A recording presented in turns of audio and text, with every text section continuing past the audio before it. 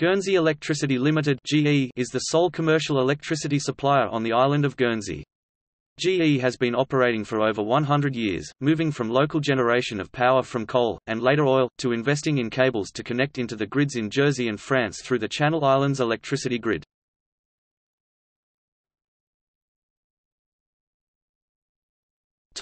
History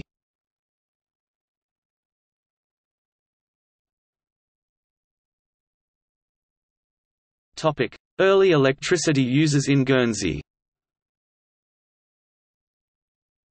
In 1887 a dynamo was used to generate street lighting in front of Randall's Brewery in the Avenue, followed in 1897 by a water-powered first domestic installation at Le Chalet, Fermain Bay. In 1898 Edmondson Electricity Corporation was granted the concession to build and operate an electricity supply in Guernsey. 7 kilometers (4.3 miles) of cables would have to be installed below ground within 2 years. In February 1900 150 kilowatts could be generated from the power station at Les Ambales, St. Peter Port. Prepayment meters had to be provided that would take English or French coins, there being three currencies in operation in Guernsey at that time, £1 Guernsey being equal to 19s British and 10d Guernsey being equal to 1 French franc. Units being sold at 7d for the first unit per day and 4d thereafter. The quarry industry needed electricity for cranes and in 1902 it was decided to build a second power station at St. Sampson's taking the generating capacity to 870 kilowatts with units supplied rising from 65,000 to 1.75 meters a year in 1910. A 2,500-volt DC cable connected the two generating centers. A battery storage system was used to provide a 24-hour service meaning the generators only needed to operate four days a week. With 1,000 consumers by 1910, the average price per unit fell to an average of 2.5 d.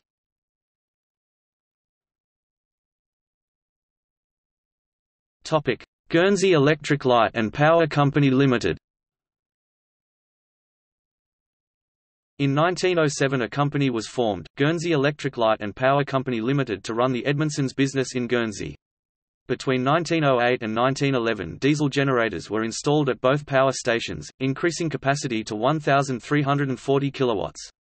An explosion in November 1918 at the Vale Power Station left the road covered in debris. The increased price of coal and oil during World War I and the requirement to expand the network resulted in a new law which increased tariffs and allowed overhead lines to be installed in country areas. Connections created to charge electric vehicles 1914 Wind turbine built 1925 In 1933 the States of Guernsey cancelled the concession and acquired the business at a cost of £285,500 at which time the capacity was 3.73 MW with 2,928 consumers on 165 kilometres 103 miles of cables with eight substations. It would be supervised by the state's electricity board. 1934 saw the start of a 50 Hz 230 volts AC supply, however some existing consumers took decades to change from DC. In 1938 the last coal-fired generator was retired as new fuel tanks were built to store oil. By 1939 an additional 110 km of mains cables were installed with 17 additional substations built and 6.9 meters units were sold a year to 5,774 consumers.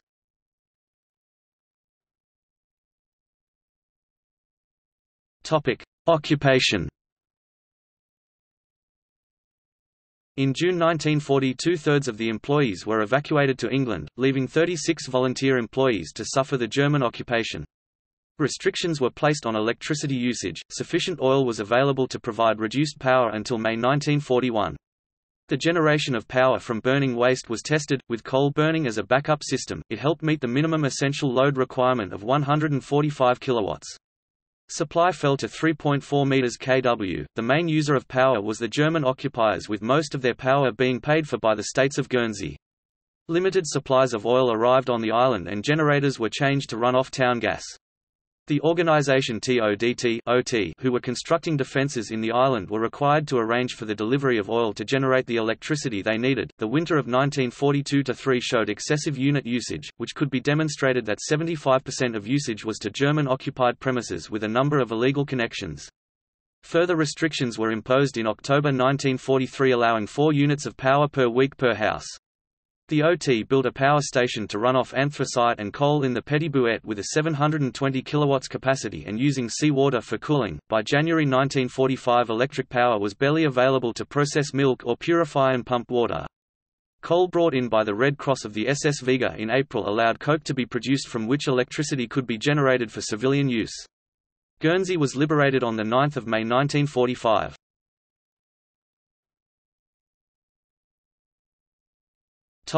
Post-war The immediate aftermath of the war saw repairs necessary in many areas however replacement machinery was hard to obtain. During the 1950s demand increased rapidly with sales reaching 32.5 meters units and consumers rising to 14,805. An AC ring main was constructed around the island. Eight new generators were acquired giving a capacity of 12.5 MW. DC was replaced with AC when opportunities arose however there were still over 600 DC customers in 1966.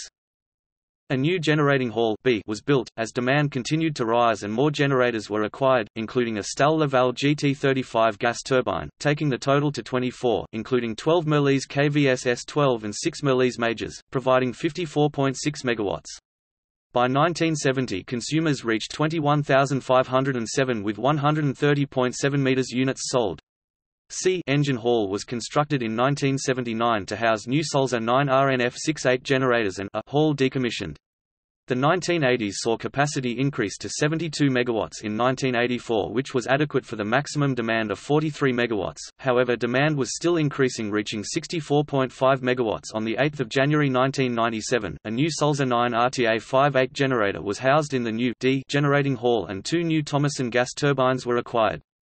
The last DC customer was Randall's Brewery which converted their bottling plant to AC in 1987. In 1998 GE was commercialized as a trading company with assets of £91.5 million. Thermal efficiency of generating plant had risen to 43%, system load factor had reached 58% and distribution system losses reduced to 9.5%.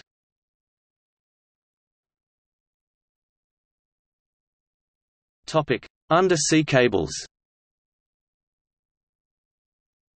In the mid-1970s investigations were undertaken to determine the practicality of a cable. Jersey connected to France in 1984 EDF1. No decision was taken until 1996 when it was agreed to connect Guernsey to Jersey GJ1 and lay a second 90 MW cable Normandy 2 from France to Jersey, the work being completed in 2000 at a cost of £50 million. The cables contain a 24 fiber optic communications cable. A second 100 MW DC cable GJ2 was planned to be installed in 2016, two years earlier than planned to replace the existing GJ1 which was starting to fail, together with another cable Normandy 1 from France to Jersey replacing the old EDF1 cable. GE has invested heavily in the Channel Islands electricity grid using debt to finance the investment.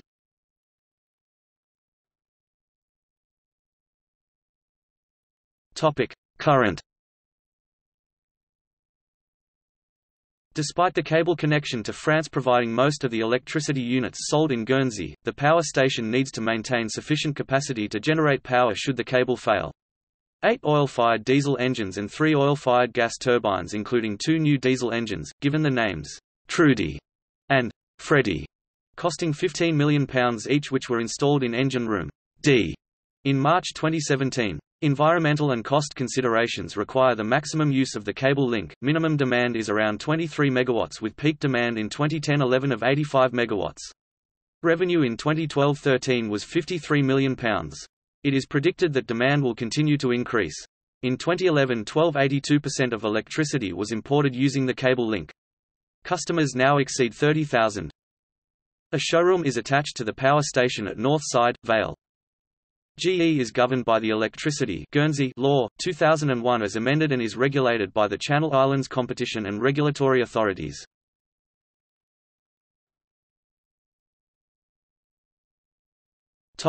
See also